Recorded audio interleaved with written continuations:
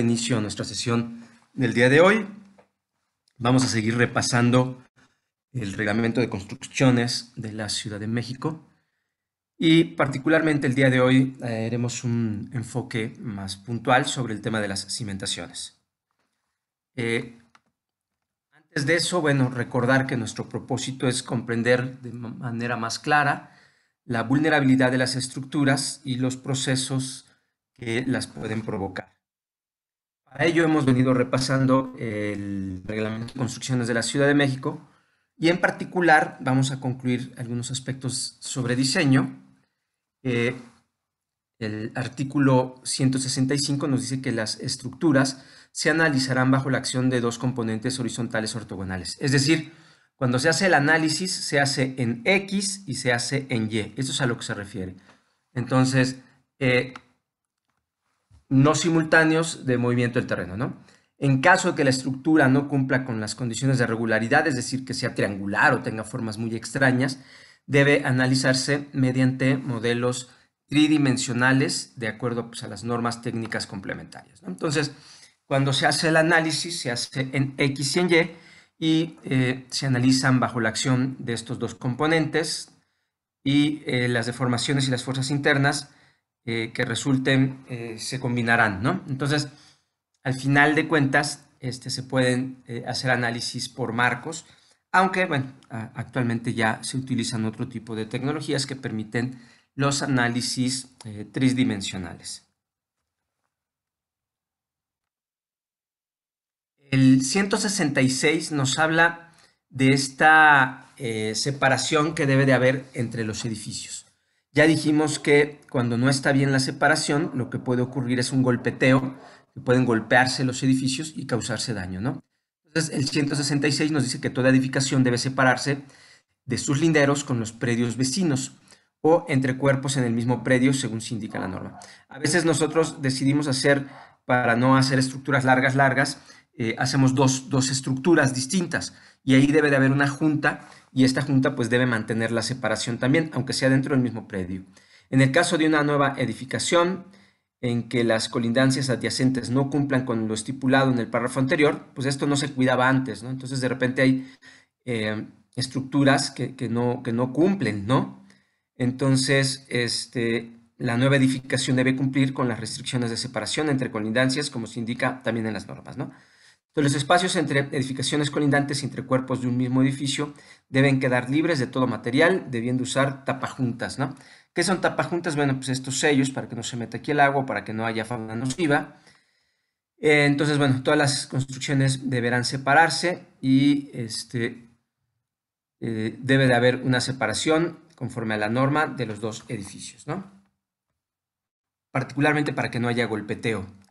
El artículo 167 nos dice que el análisis y diseño estructural de otras construcciones que no sean edificios se harán de acuerdo con lo que marcan las normas y en los aspectos no cubiertos por ellas se hará de manera congruente con las mismas y con el capítulo previa aprobación de la Secretaría de Obras y Servicios. Entonces, el análisis y diseño estructurales se tiene que hacer de acuerdo a las normas y cuando no cumpla, bueno, se deben de adaptar lo más posible a la norma y aún así eh, lo resultante tendrá que ser aprobado por la Secretaría de Obras y Servicios.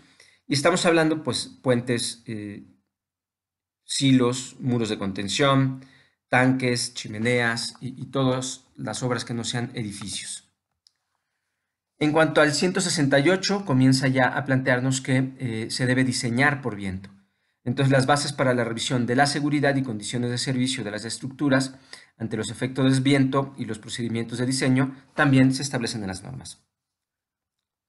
Veamos un video para irnos acercando al tema del el suelo y las cimentaciones.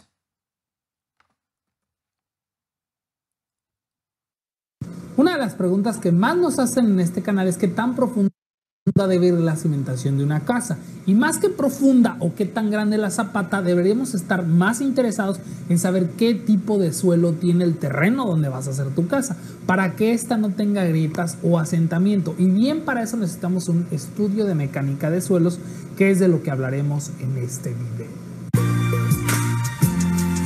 Planos constructivos.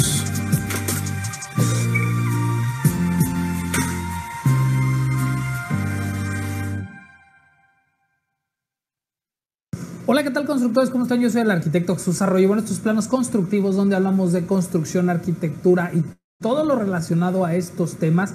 Y bueno, algo muy importante y que siempre me están preguntando es eso, cómo debe la cementación, qué tan profunda, pero va más relativo a el tipo de suelo que tienes, el tratamiento que le debes de dar.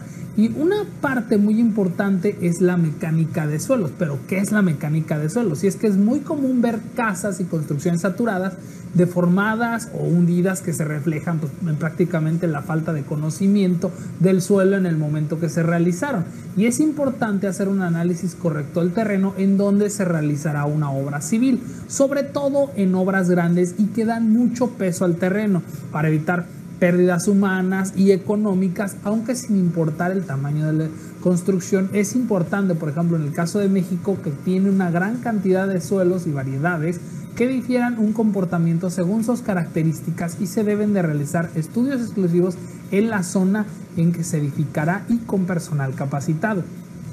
Pues bien, un estudio de mecánica de suelos determina la composición del suelo y sus características en términos de ingeniería y este sirve para conocer la capacidad resistente del suelo, sus posibles deformaciones, su comportamiento mecánico, etc. Y muchos de los reglamentos y normas de construcción especifican la calidad y características que deben de tener los materiales y para conocerlos es necesario realizar sondeos, extracción de muestras, ensayos de laboratorio y con los resultados finalizar un informe de mecánica de suelos. En cuanto a los estudios geotécnicos, pues estos se apoyan en conocimientos geológicos para realizar un análisis del material presente en el subsuelo, esto a fin de determinar sus propiedades y sobre todo para proponer la cimentación adecuada de diversas estructuras tales como edificios, estabilización de taludes, túneles y carreteras. Ahora, es considerable el ahorro que se obtiene en una construcción al conocer los factores obtenidos, pues mediante el análisis del terreno en el que se va a construir en comparación al costo del reforzamiento o reparación de una estructura, o en el peor de los casos a la pérdida total de la obra. También tiene ventajas en términos de seguridad y comportamiento final de la obra que se pretende construir. Pues bien, ahora un estudio de mecánica de suelos pues se divide en diferentes fases. Una son los trabajos de campo y estos principalmente involucran el reconocimiento de geotécnicos y de técnicas de muestreo de materiales inalterados y alterados. En el caso de solicitarse también se cuenta con un trabajo de pruebas de campo y como parte fundamental del estudio de mecánica de suelos es vital la importancia de la iteración del especialista en campo para poder tener aplicación definida que involucre el trabajo final para el informe geotécnico. Ahora, en cuanto a los trabajos de laboratorio, los trabajos de laboratorio son, laboratorio, perdón, son ensayos que se involucran en las características y propiedades, así como el índice y mecánica de los materiales en estudio, bajo métodos y normatividades vigentes. Con los trabajos de laboratorio, pues podemos obtener resultados importantes de ensayos en suelos y rocas tales como pruebas índices, que son la clasificación, contenidos de agua, límites de consistencia, granulometrías, densidades sólidos, pesos volumétricos y también pruebas mecánicas que son la compresión simple, triaxiales, consolidación unidimensional, saturación bajo carga y permeabilidades. Además, el estudio de mecánica de suelo requiere parámetros de diseño acordes al material de suelo que posee lugar en estudio, con la finalidad de poder llevar estos resultados de laboratorio al diseño geotécnico. También existen lo que son los trabajos de gabinete y es una de las partes fundamentales para el estudio de mecánica de suelos, donde se llevan a cabo la interpretación de los resultados de campo y de laboratorio, siendo así tomados en cuenta para el análisis geotécnico y para el diseño de la propuesta de cimentación. Es exactamente para que la, principal finalidad de, un análisis de mecánica de suelos es esta, la propuesta de cimentación ustedes vean y van a ver que, por ejemplo, en Dubai pues hacen pilotes, en México también usan pilotes porque son suelos que no permiten este, mucha capacidad de carga o que pues, tienen bastante agua, por ejemplo, es agua arenosa. Bueno, agua arenosa ya me confundí, es, es este, mucha agua en el DF. Y en el caso de Dubai es un suelo arenoso, entonces tienen que meter pilotes que toquen hasta el estrato que sí está perfectamente posible eh, soportar toda esa capacidad de carga. sobre todo para estos enormes edificios. Ahora, los trabajos de gabinete pues, nos aportan un soporte matemático y técnico, así como una conclusión del análisis numérico que involucra cálculos de capacidad de carga, asentamientos y en casos particulares pues, la estabilidad de taludes. Algunos aspectos finales que arrojan los trabajos en gabinete pues, son propuestas de mejoramiento de suelos, propuestas de cimentaciones superficiales profundas o mixtas, procedimientos de excavación y procedimientos de construcción y cimentaciones. ¿A qué, me, se refiere con esto? Puedes mejorar el suelo con suelo cemento o la, la, excavación, pues hay que hacer un cajeo, hay que literal quitar toda esa capa de tierra vegetal y poner tepetate, un material más inerte. ¿A qué, ¿Por qué? Porque la mayoría de las veces los terrenos que son buenos para cultivo son malos para construcción. Es una tristeza que como constructores tengamos que deforestar áreas de cultivo para eh, construir, cuando en realidad, por ejemplo, hay muchos otros tipos de terrenos que pueden ser muy buenos para construcción, pero se entiende que, por ejemplo, si estás en un, en un rancho y pues quieres meter una pequeña bodega para dejar tus máquinas para, para procesar todos los cultivos, pues claro que vas a tener que construir, o sea, tampoco se trata de ser eh, colonazis, ¿no? Ahora, eh, ¿qué se hace pues, con un laboratorio de mecánica de suelos? Pues una vez que se obtienen todos los materiales, suelo, material rocoso, mediante el muestreo que se realiza en la zona de estudio donde se va a construir, es necesario pues, realizar ensayos y conocer las propiedades de estos materiales y las pruebas pues obviamente se realizan en un laboratorio de mecánica de suelos, valga la redundancia, el cual debe contar pues, con un equipo necesario para realizar los debidos ensayos, además de personalizar de personal especializado, ingenieros, personal técnico y gestión de calidad para garantizar el correcto estudio de la mecánica de suelos. Ahora, es importante que las pruebas de laboratorio a las que se someten estas muestras que se obtienen en campo, ya sean suelos o material rocoso, se llevan a cabo bajo las normas vigentes, esto para asegurar su calidad y resistencia y que sean requeridas en cada proyecto de ingeniería. Además, pues las pruebas pueden ser índice o mecánicas pues, según el tipo de información que deseas obtener. Ahora, diferentes tipos de pruebas para el laboratorio y sus funciones son, por ejemplo, para suelos está la granulometría, que consiste en determinar pues, la composición y los tamaños de la muestra de suelos mediante el paso del material por una serie de mallas con aberturas determinadas, pasando primero por las, pues, obviamente las de mayor diámetro hasta las más pequeñas, los más finos. Otro es el límite de consistencia, que es el límite líquido, en donde el contenido de agua que marca el límite entre los estados semilíquido y plástico de los suelos otro es el límite de plástico, que es el contenido de agua que marca el límite entre los estados plástico y semisólido de los suelos. El tercer sería un contenido natural de agua que se realiza con la finalidad de determinar el contenido de agua presente en una muestra de suelo y se realiza tradicionalmente por medio de secado al horno. El peso volumétrico, que es la relación entre el peso del suelo y el volumen que ocupa. Otro es la contracción lineal, que es la reducción de volumen del suelo desde la correspondiente al límite hasta el límite de contracción. Otro es la resistencia del esfuerzo constante que presentan los suelos, el esfuerzo cortante. Con esta prueba de laboratorio pues, reanaliza la calidad de los materiales en cuanto a su resistencia. Por ejemplo, en el caso de los materiales rocosos, pues es la medición del índice de la calidad de las rocas. Es un parámetro estándar definido como el porcentaje de recuperación de testigos de más de 10 centímetros sin tener en cuenta las fracturas ocasionadas por el proceso de perforación con respecto a la longitud total del sondeo. Dos, pues es el contenido natural de agua, que se refiere a la relación que existe entre el peso del agua contenida en una roca y el peso en su fase sólida. El tercero pues, es la porosidad, que se realiza para medir el porcentaje de absorción de agua que presenta la muestra rocosa. El peso volumétrico para obtener la relación entre el peso que muestra la roca y su volumen. Todas estas pruebas pues, nos dan qué tipo de suelo tenemos, valga la redundancia. Y por ejemplo, en el caso de los poros, pues si está muy porosa la roca, pues también puede tener problemas, no es la misma capacidad de carga. En cuanto a las pruebas mecánicas, pues estas brindan información respecto al comportamiento del suelo, y es decir, características como la compactación, los asentamientos que pueden existir y esfuerzos de carga, y algunas pruebas son la consolidación, esta para conocer el grado de asentamiento, la compresibilidad y la máxima presión que ha soportado la muestra del suelo. Otro es la expansión, y con esta prueba se determina el aumento de volumen de una muestra de suelo al humedecerse. Tercero sería la permeabilidad y se realiza para determinar el coeficiente de permeabilidad que consiste en la propiedad de un suelo de permitir pues, que pase el agua a través de sus vacíos. En los materiales rocosos, la compresión simple en el ensayo, pues prácticamente la muestra roca se somete a una carga y se mide al cambio en su forma y volumen. Otro es la abrasión que se realiza con la finalidad de determinar el porcentaje en el desgaste de una muestra de material rocoso en el laboratorio de mecánica de suelos y se siguen procedimientos establecidos desde la obtención de muestras, el traslado y la ejecución de los ensayos y se debe tener especial cuidado ya que las muestras pues, se realizan en áreas determinadas para su ejecución con equipo desde el más sencillo como cápsulas, charolas, cucharones, espátulas, esto lo pueden ver en los videos del fondo, mazos, palas, lonas, bolsas, prácticamente todo, y deben cumplir con las especificaciones, así como equipos que deben ser calibrados y verificados como verniers, balanzas, hornos, prensas, entre otros.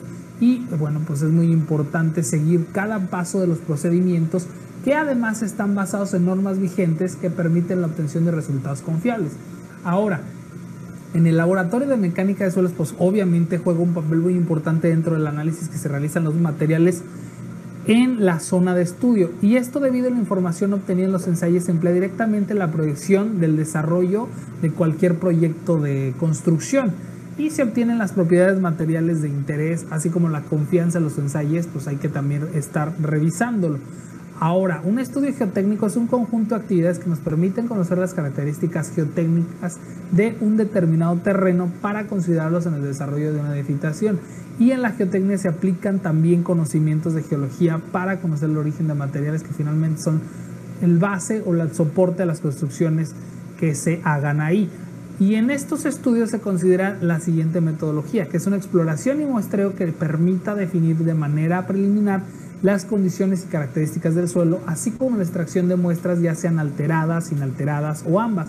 Posteriormente en el laboratorio de mecánica de suelo se llevan a cabo los ensayos de las muestras que se recolectaron en el campo, obteniendo además de sus características principales el comportamiento del suelo ante las cargas de la estructura que soportan el factor de seguridad que debe considerarse en el proyecto. Asimismo, se debe incluir un estudio el procedimiento constructivo con base en el análisis realizado que garantice la confiabilidad de construcción. En estudios geotécnicos se realizan diferentes análisis y pueden ser, por ejemplo, los análisis de capacidad de carga y se refiere a la carga máxima que puede soportar el terreno sin provocar fallas en la cimentación, asentamientos o daños a la estructura. Este es de los más pedidos y más importantes. Y este dato nos permite proponer a la cimentación adecuada y se debe de considerar que las propiedades de los suelos son diferentes de un lugar a otro, por lo que de la misma manera la capacidad de carga es diferente en cada lugar. En nuestro país se calcula con base al reglamento de construcción de la Ciudad de México y eso muchos ya lo saben, como las normas técnicas de por ejemplo, de CFE, que se deben considerar los valores de factor de seguridad permisibles en cimentaciones. Y los suelos pues pueden presentar fallas por capacidad de carga debido a la rotura por corte del suelo que se encuentra bajo la cimentación. Es decir, que el esfuerzo cortante que actual alcanza un valor límite máximo y se deben considerar un factor de seguridad, o sea, siempre se le debe dar.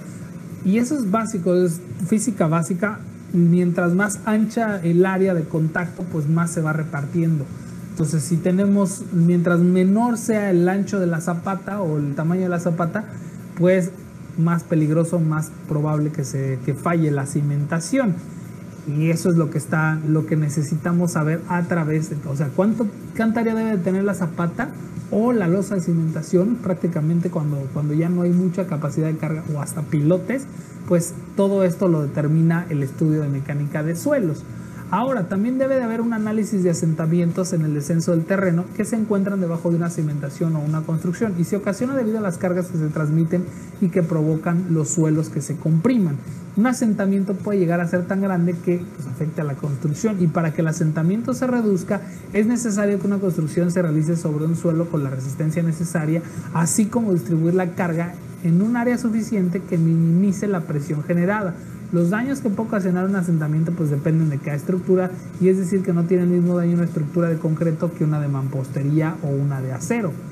Otro es, por ejemplo, el caso de carreteras, otro estudio es el de la estabilidad de taludes que nos sirve, pues determina los parámetros geotécnicos para el dimensionado de las estructuras de contención y los coeficientes de seguridad de los taludes temporales o definitivos de una obra y establecen pues, medidas de prevención y control para reducir niveles de amenaza de riesgo. Si los taludes no son muy estables, pues hay que meter muros de contención.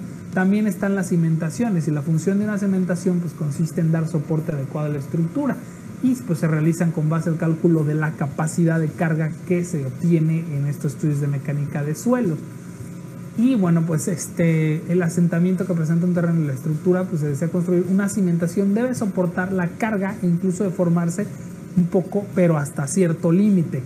Esto para no provocar daños a la estructura o en taludes y es de gran importancia para el diseño de taludes estables en función a las condiciones requeridas. Existen pues obviamente diferentes tipos de cimentaciones, que son las someras, con su nombre lo dice, pues se realizan a poca profundidad y se utilizan para construcciones pues relativamente livianas y son menos costosas. Algunos ejemplos pues son las zapatas aisladas, las zapatas combinadas o corridas, las losas de cimentación y las profundas que se realizan cuando se requiere tener suficiente superficie de contacto y mayor capacidad de carga para soportar una estructura. Algunos ejemplos son los pilotes, las pilas, los muros pantalla y los micropelotes. Los micropilotes, perdón. Ahora, en cuanto a las ventajas de todos estos estudios, pues reducen los riesgos de hundimientos, fracturas y deformaciones en las obras de construcción y evitan pérdidas materiales, económicas e incluso humanas.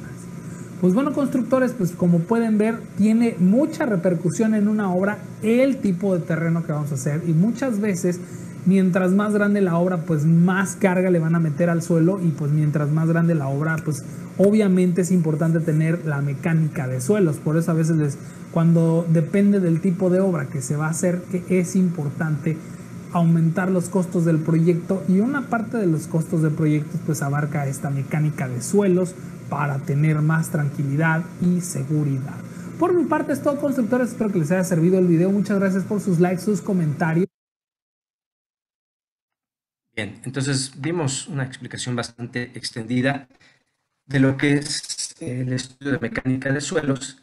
Tiene al menos tres propósitos. El primero, eh, la resistencia. Recuerden que la cimentación transmite eh, la carga al suelo, entonces el suelo tiene que tener la resistencia, pues para no eh, romperse de manera estrepitosa particularmente eh, ante esfuerzos cortantes es cuando se rompe el suelo. También eh, hay que hacer estudios de mecánica de suelos para comprender la deformación, la deformación inmediata o la deformación a largo plazo. Y finalmente es necesario eh, comprender cuál va a ser el empuje del suelo cuando se van a hacer excavaciones para mantener esas excavaciones estables o cuando este, se instalan muros. Por lo tanto, eh, el artículo 169 del reglamento nos dice que toda edificación se soportará por medio de una cimentación que cumpla con los requisitos relativos al diseño y construcción que se establecen nuevamente en las normas técnicas. Y las edificaciones no podrán en ningún caso desplantarse sobre tierra vegetal, suelos o rellenos sueltos o desechos. Solo será aceptable cimentar sobre terreno natural firme rellenos artificiales que no incluyan materiales degradables y que hayan sido adecuadamente coactados. Eh, todos los edificios deben de tener un sistema de cimentación que transmita las cargas o los pesos al suelo sin superar la resistencia del suelo y también que la transmitan sin que se generen deformaciones eh, inmediatas o a largo plazo y sobre todo que se generen eh, deformaciones diferenciales, es decir, que una parte de nuestra casa se hunda más que la otra, sino que si va a haber asentamientos, estos deben de ser eh, iguales, calculados y no diferenciales, ¿no? Veamos otro video. Hola a todos les presento lo que es los tipos de cimentación. ¿Qué es la cimentación? La cimentación es el conjunto de elementos estructurales cuya función es transmitir las cargas de la edificación o elementos apoyados a este al suelo, distribuyéndolas de forma que no superen su presión admisible, entendiéndose como presión admisible eh, por un terreno de cimentación que significa la presión máxima admisible por un terreno de cimentación que proporciona la seguridad necesaria para evitar la ruptura de la masa de terreno o el movimiento de los cimientos. Esta presión se obtiene aplicando un coeficiente de seguridad impuesto por las normas de edificación a la carga de rotura del terreno. Debido a que la resistencia del suelo es generalmente menor que la de los pilares o muros, que soportará el área de contacto entre el suelo y la cimentación será proporcionalmente más grande que los elementos soportados, excepto en suelos rocosos muy coherentes. La cimentación es importante porque es el grupo de elementos que soportan a la superestructura. Las funciones de los cimientos. Además de soportar las cargas y distribuir las fuerzas de la estructura, los cimientos han de ser fuertes y resistentes para no romper por, por cortante esto es el resultado de tensiones mal divididas. Movimientos telúricos, sismos u otros similares podrían provocar tensiones y fuerzas que amenazan con cortar los cimientos. Otra de las funciones de los cimientos es la distribuir las tensiones y la flexión de toda la estructura. El cimiento, aunque sólido, debe moverse en conjunto con el terreno, al acompañar al terreno en sus movimientos en lugar de imponerse estático. Se evita las rupturas por, por cortante y los quiebres estructurales.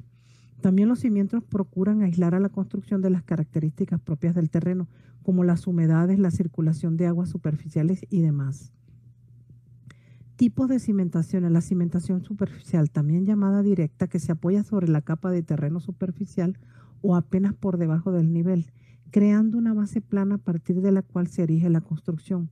Es la elegida para construcciones rápidas en terreno y climas muy, más estables.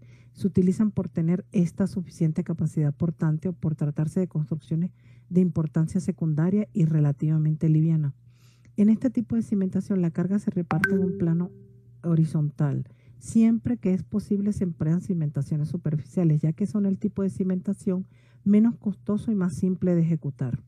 Se clasifican asimismo en cimentaciones de concreto ciclopio, para terrenos cohesivos formada con hormigón fortalecido con piedras o concreto. En algunos países llaman hormigón o es concreto en otros países. Cimentaciones de piedra, mampostería de piedra, zapatas para elementos puntuales como pilares o muros portantes, en bloques independientes con sembrados y losas de cimentación, que son placas flotantes que se apoyan en el terreno. La cimentación semiprofunda. La cementación, la semiprofunda, usadas a veces bajo agua, elegidas para muros de contención, arcos, micropilotes y otras, se ubican a poca profundidad dentro del terreno.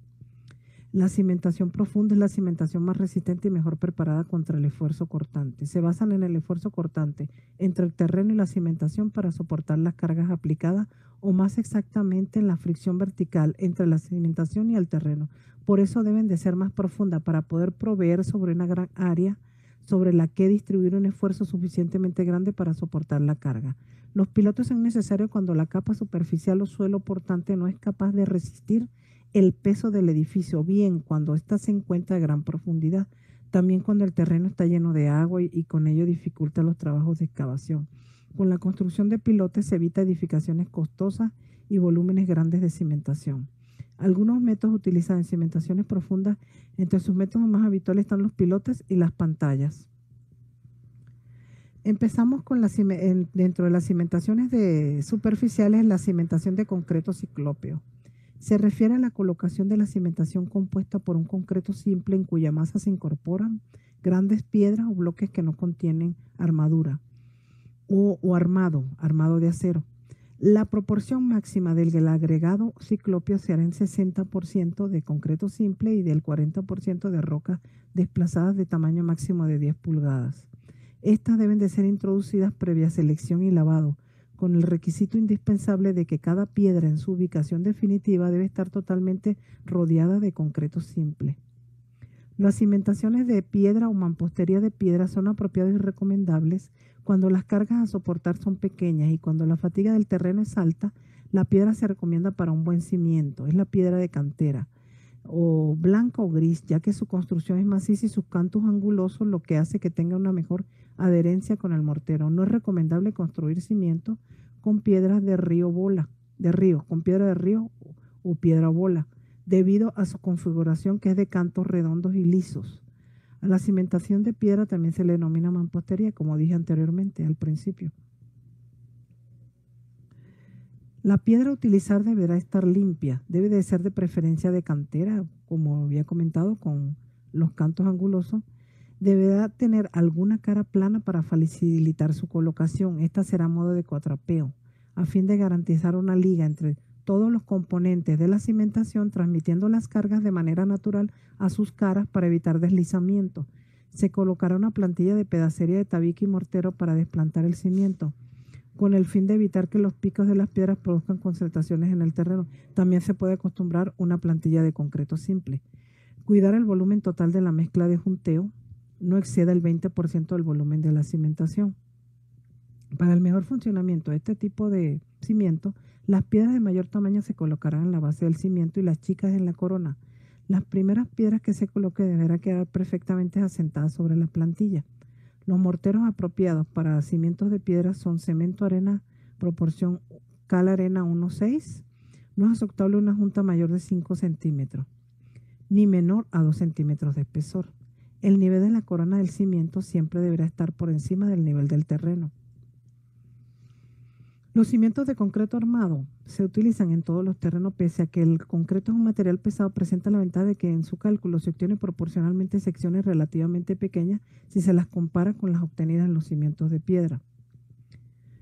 Otro de los de las, este, tipos de cimentación eh, superficiales son las zapatas aisladas. Son un tipo de cimentación superficial que sirve de base de elementos estructurales puntuales como los pilares, de modo que esta zapata amplía la superficie de apoyo hasta lograr que el suelo soporte sin problema la carga que le transmite. El término zapata aislada se debe que se usa para asentar un único pilar, de ahí el nombre de aislada. Es el tipo de zapata más simple, aunque cuando en el momento flector en la base del pilar es excesivo, no son adecuadas y en su lugar deben emplearse zapatas combinadas o zapatas corridas, en las que se asiente más de un pilar o columna. Las zapatas combinadas o corridas, este tipo de cimentación se emplea cuando las zapatas aisladas se encuentran muy próximas incluso se solapan. Las, las, causas que originan esta situación son varias, la proximidad de los pilares o columnas, la existencia de fuertes cargas concentradas que pueden dar lugar a elevados asientos diferenciales, la, la escasa capacidad resistente del terreno, la presencia de discontinuidades en este. Si el número de pilares que soporta es menor de tres, se denominan combinadas y corridas en caso contrario. También se utilizan para apoyar muros con capacidad portante, muros de carga o muros de contención de tierra, ya tengan o no soportes embutidos, en cuyo caso la anchura de la zapata puede ser variable. También se usa para cimentar muros de cerca, muros de contención por gravedad, para cerramiento de elevado peso. Las zapatas corridas no son recomendables cuando el suelo es muy blando. Losas de cimentación. Una losa de cimentación es una placa flotante apoyada directamente sobre el terreno.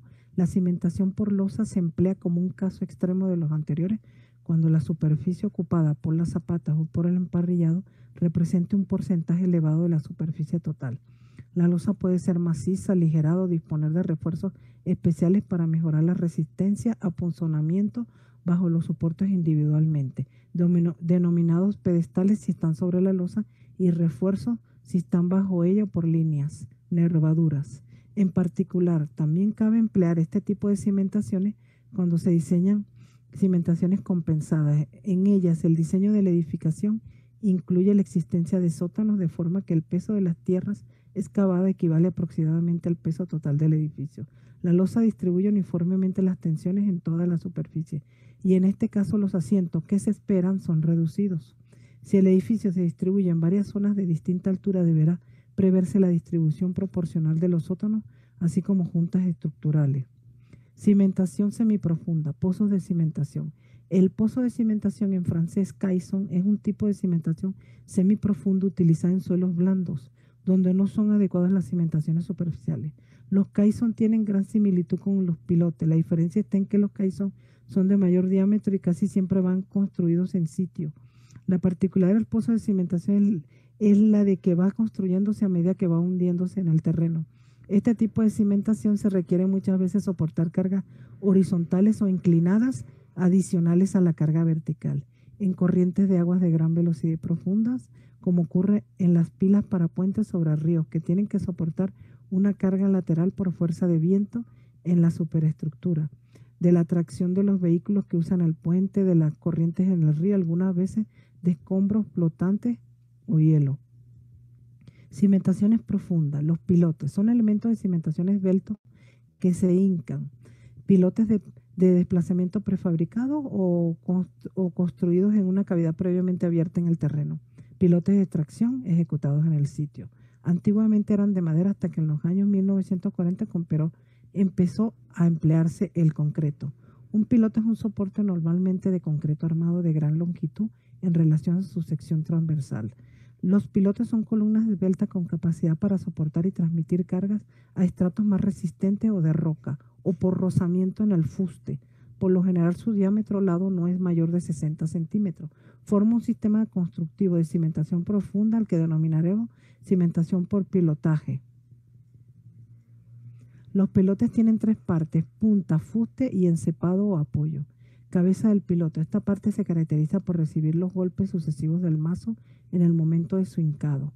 El fuste es el cuerpo del piloto, es la columna estructural que se encuentra fija a la punta y por lo general va empotrado en la cabeza. Y la punta, que es la parte que da final al contacto permanente con el suelo y es protegida por medio de un casco metálico. Su modo de trabajo depende de la naturaleza del terreno y la profundidad en la que se encuentre un estrato resistente. Cuando no resulta técnico o económicamente viable alcanzar un estrato con resistencia adecuada, se diseñan los pilotes para su trabajo por fuste, en cuyo caso se denominan flotante y transmiten la carga al terreno por rozamiento. Si existe la posibilidad de llegar a una zona de mayor resistencia, se considera que el pilote trabaja por punta, con contribución o no del fuste. Las cimentaciones profundas las clasificamos en cilindro y cajones. Los pilotes son necesarios cuando la capa superficial o suelo portante no es capaz de resistir el peso del edificio, o bien cuando ésta se encuentra a gran profundidad, cuando el terreno está lleno de agua y ello dificulta los trabajos de excavación. Con la construcción de pilotes se evitan edificaciones costosas y volúmenes grandes de cimentación.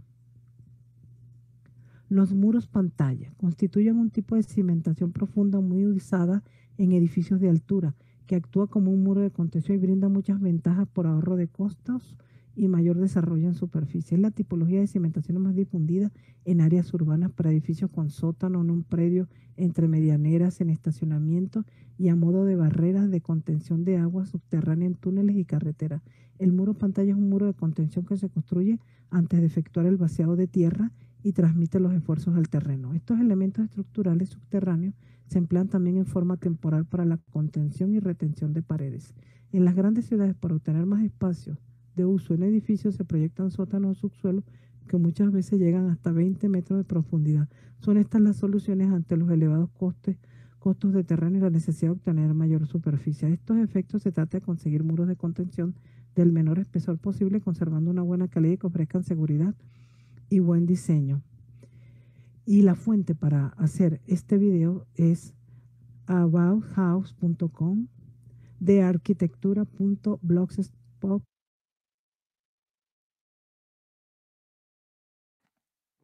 Bueno, hemos hecho un recorrido sumamente amplio de los diferentes tipos de cimentaciones, superficiales, profundas, eh, zapatas aisladas, zapatas corridas, eh, las cimentaciones profundas que pueden incluir estas pilas o al mismo tiempo también eh, pilotes eh, hincados o eh, cimentación profunda que trabaja cruzando estratos débiles.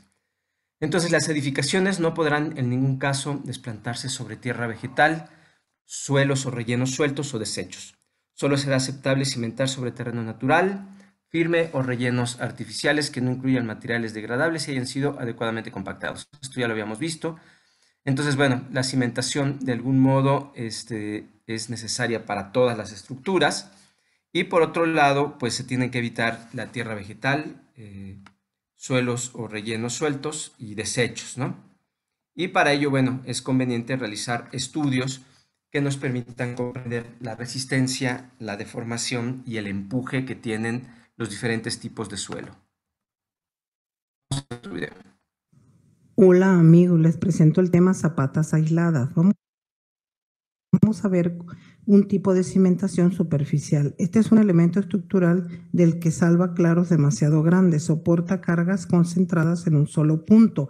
El acero es comúnmente de mayor diámetro debido a que son elementos aislados y está formada por tres elementos, la plantilla, el dado y la columna. Les voy a explicar a detalle lo que es el proceso del armado, que una vez hecha la excavación se procede al colado del concreto F'C de 100 kilogramos sobre centímetro cuadrado para colar lo que es la plantilla. Parte de, lo, de la excavación, como primer paso, el segundo paso es el hacer las plantillas.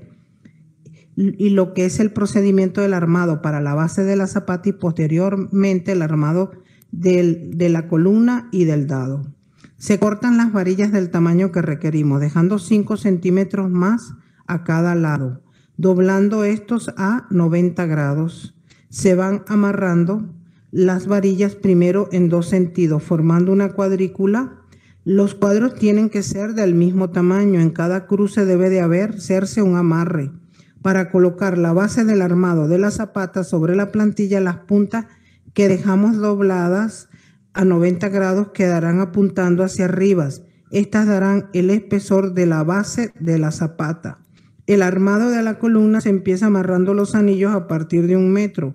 Las varillas de un metro quedan sin anillo, las doblaremos a 90 grados para que nos servirán para fijar las puntas dobladas que se que se anclarán al armado de la base de la zapata. Teniendo armada la columna, se procede a bajar y se procede a amarrar a la base de la zapata, al armado de la base de la zapata. Los anillos que formarán el dado ya tienen que quedar alrededor del armado de la columna y elevamos el armado de la columna y se amarra en cuatro puntos con unos contravientos para evitar que se caiga. Las varillas del dado la podemos meter después del armado de la columna. Posterior a esto se coloca el cimbrado, lo que es el cimbrado de la base de la zapata y posterior lo que es el cimbrado de, del dado. El colado se hará en dos partes. Primero el armado de la base de la zapata y al día siguiente se cimbra el dado y se cuela. El concreto utilizado es F'C de 200 kilogramos sobre centímetro cuadrado.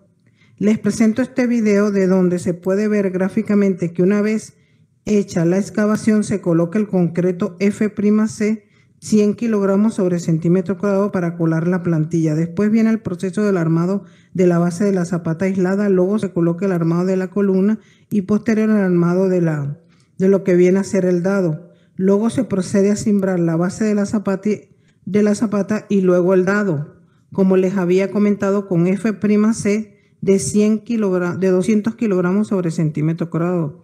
Luego se coloca el relleno y finalmente ya colada, así quedaría la zapata. Y la fuente para hacer este video es pinterest.com de arquitectura. Siguiendo el recorrido con el reglamento, nos dice que para fines de este título, la Ciudad de México o el Distrito Federal se divide en tres zonas con las siguientes características. Todos sabemos que la ciudad fue un antiguo lago o varios lagos y que bueno, tenemos, esto está viendo visto del norte hacia el sur, aquí tenemos Zumpango, acá tenemos eh, Santa Catarina, Iztapalapa y atrás está Xochimilco, ¿no? Y aquí, bueno, sería Tenochtitlan, lo que actualmente es el Zócalo. Y lo, importante de esto es que eh, podamos nosotros entender que estas condiciones hacen que haya zonas de lago con diferentes profundidades, zonas de transición, es decir, las playas, y la zona netamente de lomas. ¿no? la zona 1, conocida como zona de lomas, está formada por rocas y suelos generalmente firmes que fueron depositados fuera del ambiente lacustre, es decir, fuera del lago, pero en los que Pueden existir superficialmente o intercalados depósitos de arena, más o menos suelta. Recuerden que estas son formaciones volcánicas, eh, donde podemos tener desde eh, derrames de lava hasta eh, arenas de pómex, arenas pumíticas en capas de diferente espesor, que pueden ser sumamente endebles, es decir, sueltas. Em, con condiciones cohesivas relativamente blandas. Este, en esta zona es frecuente la presencia de oquedades en rocas. Eh, las oquedades en rocas las vamos a encontrar particularmente en esta región, Recuerden, el volcán Xitle provocó eh, túneles de lava, entonces podemos encontrar túneles de lava de este lado, pero también podemos encontrar este, eh, minas. En esta otra región se generaron minas eh, para extraer arena, arena Pómex, muchos años, ¿no? Entonces, este, para las minas de arena. Eso es importante que lo tengamos presente. Entonces, bueno, el reglamento nos dice que tenemos que tener cuidado con esas características. Vamos a ver un video más. Hola, amigo. Le presento el tema la cimentación de, de concreto ciclopio. Es de mampostería de concreto ciclopio. La cimentación compuesta por un concreto simple en cuya masa se incorporan grandes piedras o bloques que no contienen armado la proporción máxima del agregado ciclopio será el 60% de concreto simple y del 40% de rocas desplazadas de tamaño máximo de 10 pulgadas, que son 25.4 centímetros que quedan en 25 centímetros. Estas deberán ser introducidas previa selección y lavado con el requisito indispensable de que cada piedra en su ubicación definitiva debe estar totalmente rodeada de concreto simple. En la imagen pueden ver el concreto ciclopio, lo que es la, la mampostería de concreto ciclopio. Las dimensiones del cimiento son, son referenciales. Esto se debe estar fijado por los planos estructurales generados por dicho cálculo estructural. En la imagen pueden ver piedra media sonja de 40, en el 40% o piedra bola o de canto rodado. El concreto simple 2500 PSI, de que es libra por pulgada cuadrada, eh, estará en un 60% o también llamado, o según como lo acostumbren, o concreto simple F''C igual a 150 kilogramos por centímetro cuadrado. En la imagen, otro detalle, pueden observar aquí lo que es el lo que muestra la mampostería de concreto ciclopio, donde se puede observar el muro de bloque de concreto, dala de desplanto, viga de cimentación de concreto armado, mampostería de concreto ciclopio. Pueden ver el castillo con su armado y sus estribos o, columnas según sea el caso. y aquí pueden observar la plantilla de concreto simple de F' 650 kilogramos sobre centímetro cuadrado. En esta imagen pueden ver un corte donde se muestra el muro de ladrillo tabique, el firme de concreto F' de, de 100 kilogramos sobre centímetro cuadrado pueden también el nivel, los niveles de piso terminado, el nivel del firme, el nivel del terreno y nivel de excavación.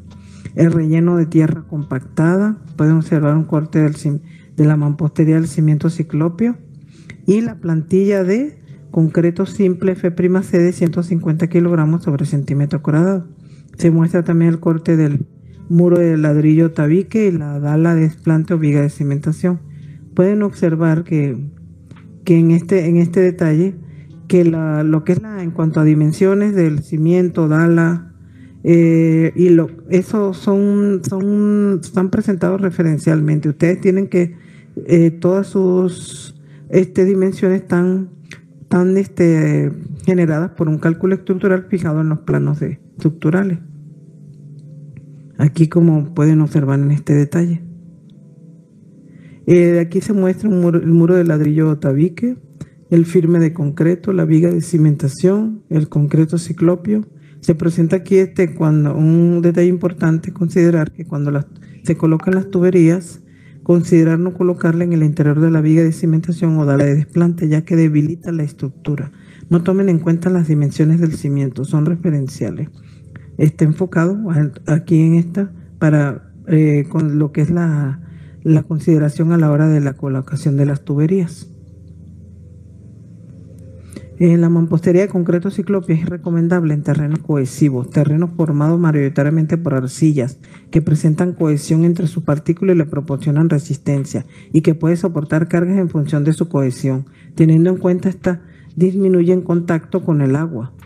Eh, hay que tomar en cuenta eso. Y que en este tipo de terreno la zanja puede hacerse con parámetros verticales sin desprendimientos de tierra. Ejecución, localizar el cimiento, su ancho y su profundidad. Verificar que el fondo de la excavación esté nivelado, libre de basura y de restos de tierra suelta. En la imagen pueden ver el proceso de excavación donde se muestra la superficie del terreno, un excavado donde ven una profundidad mínima de 80 centímetros, la base del cimiento, lo que es el, material de excavación que tiene que tener una distancia mínima de 60 centímetros al límite de la pared de la zanja. Aquí también se muestra lo que es la, la imagen de lo que es la piedra bola, piedra de canto rodado. Y que esta piedra tiene que ir limpias y mojadas con agua previamente antes de colocar la primera capa en, en el cimiento. Y la preparación de la zanja es importante considerar que antes de iniciar el vaciado del concreto se debe verificar que la zanja esté limpia, el simbrado deberá verificarse que esté debidamente colocado, asimismo es necesario prever los lugares donde va a pasar las tuberías de desagüe. En estos puntos habrá que dejar los pases correspondientes. Generalmente se hace dejando papel de bolsas de cemento.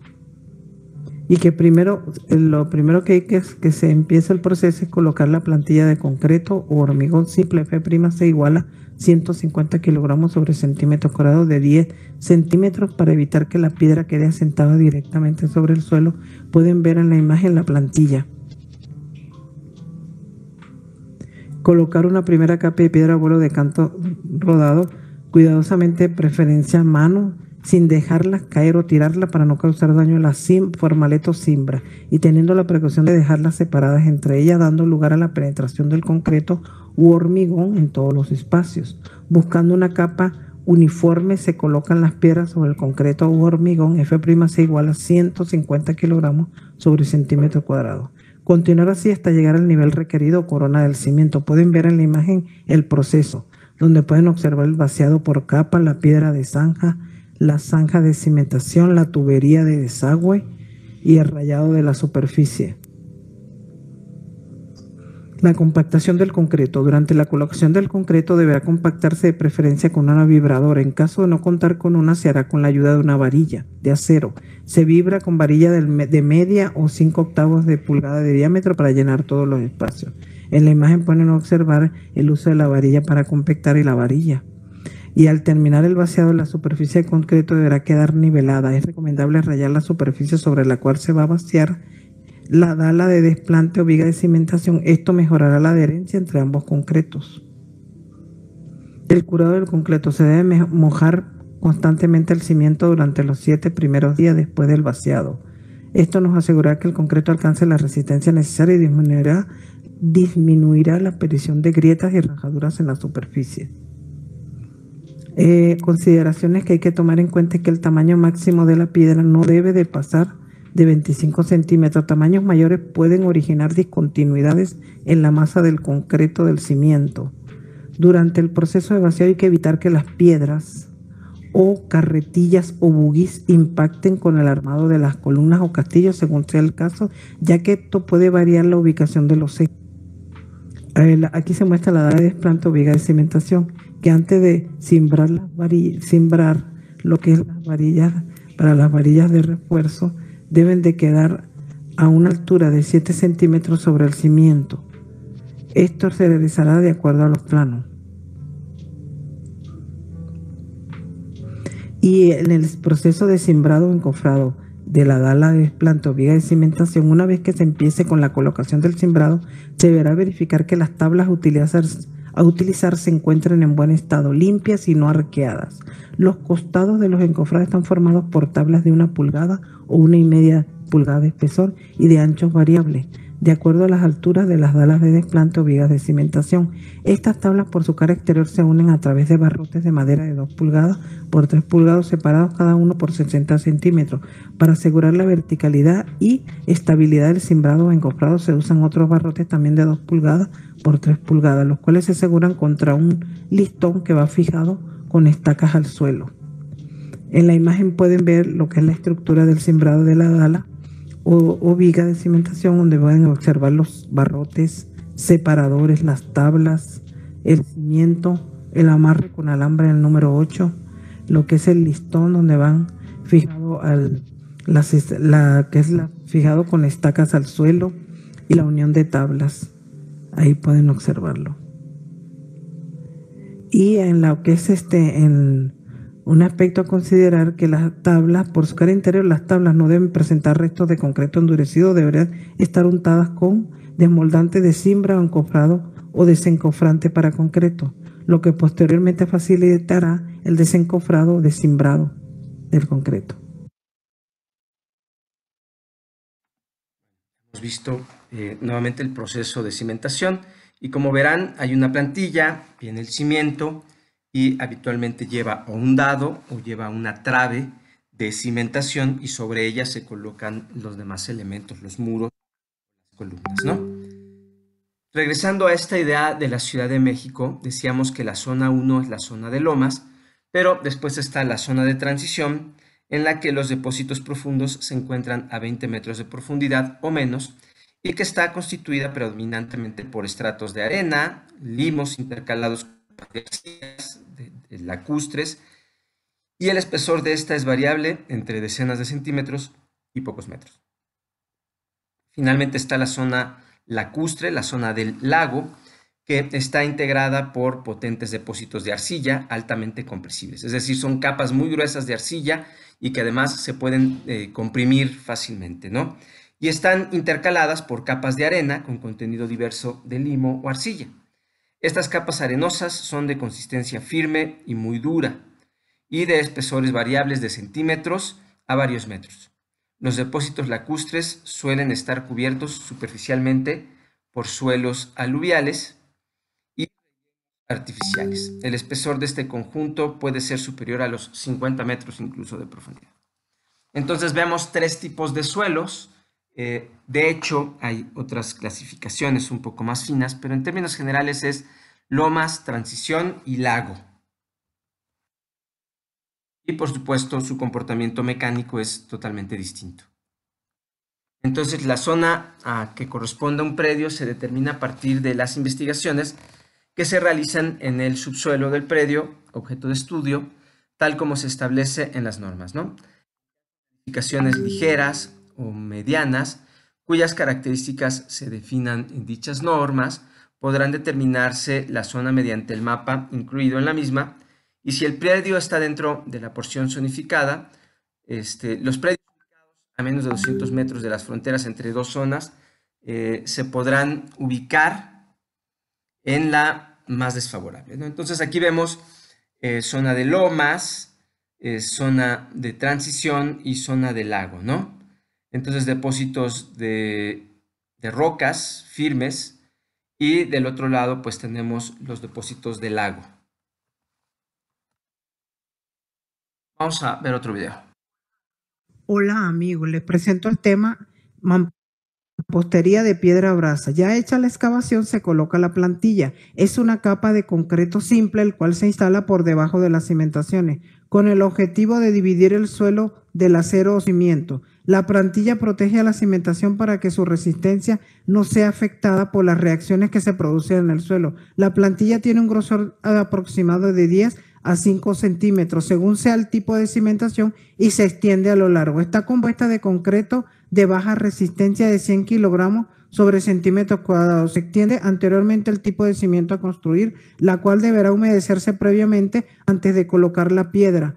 También puede ser de pedacería de tabique y mortero para desplantar el cimiento, con el fin de evitar que los picos de las piedras produzcan concentraciones en el terreno. Esta es otra característica de por qué la plantilla es importante como parte de los cimientos. Se deberá prever la ubicación de los castillos o refuerzos verticales y se deberá plomar para darle la condición de verticalidad el nivel de burbujo o la plomada cumplen esta función. También es importante colocar los hilos para seguir un nivel de colocación. La piedra utilizar debe estar limpia, debe de ser de preferencia de cantera, con cantos angulosos, debe tener alguna cara plana para facilitar su colocación. Esta será modo de cuatrapeo a fin de garantizar una liga entre todos los componentes de la cimentación, transmitiendo las cargas de manera natural a sus caras para evitar deslizamiento. Cuidar el volumen total de la mezcla de junteo no excede el 20% de volumen de la cimentación.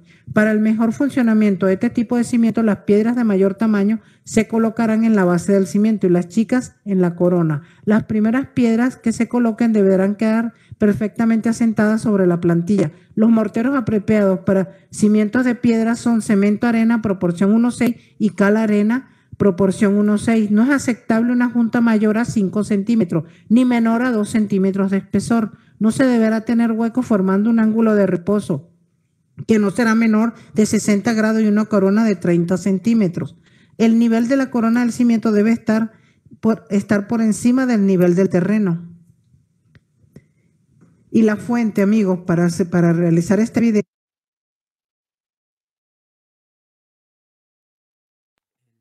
Artículo 171 nos dice que la investigación del subsuelo del sitio mediante exploración de campo y pruebas de laboratorio debe ser suficiente para definir de manera confiable los parámetros de diseño de la cimentación, la variación de los mismos en la planta del predio eh, y además deben permitir comprender en la zona 1 si existen eh, materiales sueltos, grietas o quedades naturales o galerías de minas y este, en el caso de que sea afirmativo, se debe proceder a su tratamiento. Eh, aquí vemos eh, lo que eran las antiguas minas en el poniente del Valle de México. Se usaban para extraer arena y eh, pues se dejaron allí abandonadas y por supuesto después se construyeron viviendas arriba, ¿no? Una cita que les puedo recomendar es una tesis que yo mismo elaboré en el año 2004 sobre este tratamiento de zonas minadas del poniente del Valle de México. Es una propuesta para regenerar el suelo en estas zonas, ¿no? Entonces, bueno, ahí la pueden descargar en, la UNAM, en tesis UNAM. Entonces, una, una tesis de posgrado que realicé hace tiempo. Veamos un video más. Suelos y tipos de cimentación. hola amigos, esperando se encuentre bien. Este es el tema que veremos. Suelos es una capa delgada de la corteza terrestre de material que proviene de la desintegración o alteración físico-química de la roca y de los residuos de las actividades de los seres vivos que sobre ella se asientan. Principales tipos de suelos, gravas, acumulaciones sueltas de fragmentos de roca y que tienen más de 2 milímetros de diámetro. Arenas es el nombre que se le da a los materiales de grano fino procedente de la interpretación de la roca o de su estructuración artificial, cuyas partículas varían de 2 milímetros a 0.05 milímetros de diámetro. Los limos son suelos de grano fino con poca ninguna plasticidad, de alta compresibilidad. Contienen mucha materia orgánica. El diámetro de estas partículas está comprendido en 0.05 y 0.005 milímetros. Los, los limos son inadecuados para soportar cargas por medios de zapatas. Las arcillas son partículas sólidas con diámetro menor de 0.005 milímetros y cuya masa tiene la partícula de volverse plástica al ser mezclada con agua. En general son plásticas, se contraen al secarse, presentan cohesión según su humedad y son compresibles. Los suelos cohesivos y no cohesivos, una característica que hace muy distintivo a diferentes tipos de suelos es la cohesión. Debido a ella, los suelos se clasifican en cohesivos y no cohesivos. Los suelos cohesivos son los que tienen la propiedad de atracción intermolecular con capacidad cementante y de crear una masa de suelo. Como las arcillas, los suelos no cohesivos son los formados por partículas de roca sin ninguna cementación como la arena y la grava. Cimentaciones. El objeto de una cimentación es proporcionar el medio para que las cargas de la estructura concentradas en columnas o en muros se transmita al terreno, produciendo en esto un sistema de esfuerzos que puede ser resistido con seguridad sin producir asentamiento o con asentamientos tolerables, ya sean estos uniformes o diferenciales.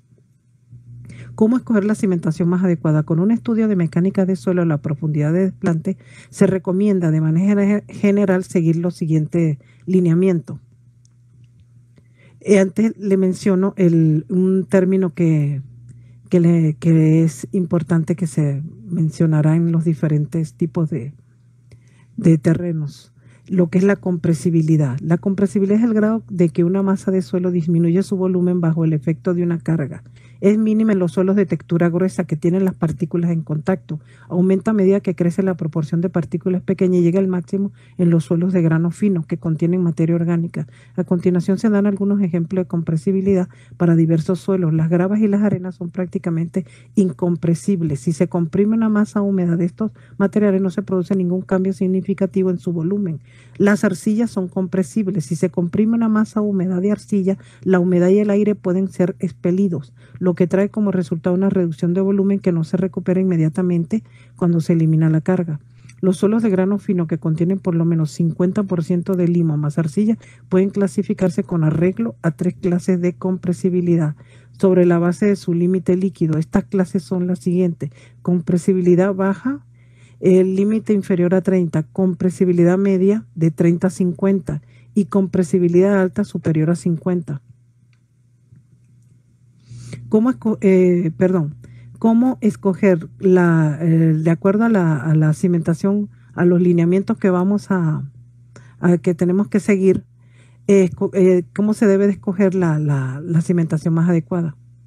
Bueno, estos son como ya les había mencionado de manera general. Usar zapata aislada en suelos de baja compresibilidad, arcillas lutitas. La lutita es una roca sedimentaria. Las rocas sedimentarias son rocas que se forman por acumulación de sedimentos formados a partir de partículas de diversos tamaños transportadas por el agua, el hielo o el viento y son sometidos a procesos físicos y químicos que dan lugar a materiales consolidados formados principalmente por granos que tienen un tamaño menor a 0.002 milímetros arcillas dispuestas en una textura laminada. Cuando se encuentra un suelo de compresibilidad media, conviene emplear zapata corrida o continua. En este caso es cuando se use lo que es la arcilla media. Cuando las cargas sean bastante pesadas y el emplear zapatos, zapatas corridas, estas ocupen cerca del 50% del área del edificio en planta, es más económico usar una losa de cimentación. En aquellos suelos que presenten compresibilidad mediana, alta o muy alta y que además tengan una baja capacidad, es recomendable el uso de, cimentaciones compensadas. En particular, cabe emplear este tipo de cimentaciones cuando se diseñan cimentaciones, cuando en ellas el diseño de la edificación incluye la existencia de sótano, de forma que el peso de las tierras excavadas equivale aproximadamente al peso total del edificio. La losa distribuye uniformemente las tensiones en toda la superficie y en este caso los asientos que se esperan son reducidos. Los asientos son las deformaciones verticales que experimenta el terreno cuando sobre él se aplica una carga. Si el edificio se distribuye en varias zonas de distinta altura, deberá preverse la distribución proporcional de los sótanos, así como juntas estructurales. La junta estructural en la ingeniería civil es la interrupción de la continuidad de una obra. Esta interrupción a veces es necesaria para evitar que una variación de temperatura provoque estados de restricción. Las restricciones que posee una edificación son relevantes ya que estas son las que hacen que las tensiones generadas por los diferenciales de temperatura sean perjudiciales o no sean perjudiciales en una determinada edificación, en general para que se evite daños o grietas en estructuras largas de diferentes metros. Para evitar daños causados por terremotos, por ejemplo, eh, dos zonas adyacentes de la misma estructura con un comportamiento sísmico significativamente diferente puede romperse en el área de conexión y chocar entre sí mismo, un fenómeno llamado martilleo. En la imagen pueden ver una losa de, de cimentación imágenes de un edificio con cimentación compensada, como pueden ver aquí en la, en la imagen. Eh, cuando la cimentación por compresión no sea económica para soportar las cargas, puede combinarse la compensación parcial y pilotes de fricción, una combinación de, de dos cimentaciones. Cuando las cargas sean demasiado elevadas, conviene para el caso de suelos de baja capacidad usar pilotes de punta apoyados en un estrato resistente. Y bueno, y este es todo por... Entonces también nos dice el reglamento que en las zonas 2 y 3 del reglamento este, se tiene que estudiar eh, la posibilidad de que haya restos arqueológicos, cimentaciones antiguas, grietas, variaciones fuertes de la estratigrafía, es decir, cambios en el tipo de suelo, eh, la historia de carga del predio y cualquier otro factor que pueda originar asentamientos diferenciales. Aquí el asentamiento diferencial es que se deforme el suelo, pero que no se deforme parejo, sino que una parte del edificio se deforme más que otra y, bueno, que se incline y que por supuesto se generen fuerzas distintas a las, eh, calculadas en un principio, de modo que todo ello pueda tomarse en cuenta en el diseño, ¿no? En las normas de diseño de cimentaciones existen requisitos para la investigación del subsuelo y los aspectos de seguridad en las cimentaciones. Aquí lo que está haciendo esta persona, esta es una cala superficial, se hace una excavación y luego cortan un cubo y este cubo lo llevan al laboratorio y se le hacen diferentes tipos de prueba. Ya dijimos que las pruebas tienen que ver con la resistencia, también con la capacidad de, de deformarse, y finalmente con el empuje, cuánto pesa y cuánto puede empujar, ¿no? Entonces la investigación del subsuelo este, se hace con pruebas de laboratorio, pruebas en campo también. Se tiene que identificar en la zona 1 si existen grietas, túneles, este, tubos de lava y en, eh, o minas, antiguas minas. Y en las zonas 2 y 3, bueno, pues antiguas cimentaciones, eh, grietas, y restos arqueológicos. Es lo que nos marca el reglamento. también en el artículo 172 nos dice que deben investigarse el tipo y las condiciones de cimentación de las edificaciones colindantes, es decir, cómo están cimentados los edificios eh, a un lado, eh, sobre todo este, si se han hundido, si emergen, em, si tienen agrietamientos eh, o están inclinados. Y todo esto se tiene que considerar en el diseño de la cimentación y por supuesto en el proyecto de construcción. Asimismo, se investigará la localización y las características de las obras subterráneas existentes o proyectadas, eh, pertenecientes a la red del transporte colectivo, del drenaje y de otros servicios públicos, con objeto de verificar que la edificación no cause daños a las instalaciones del metro, de drenaje y otras cosas. ¿Qué puede ocurrir si nosotros tenemos una cimentación o un edificio muy pesado, como el que se ve aquí, eh, en donde está esta persona señalando? Tienes este edificio, es muy pesado, se hunde y, puede arrastrar y deformar y dañar las, viviendas de junto. Por lo tanto, eh, la investigación no solamente incluye el suelo, sino eh, cómo están cimentados los inmuebles vecinos, si es una cimentación superficial, eh, si se han hundido, si, si hay agrietamientos en el, en el, terreno, si hay líneas de drenaje o, por supuesto, obras subterráneas como el metro.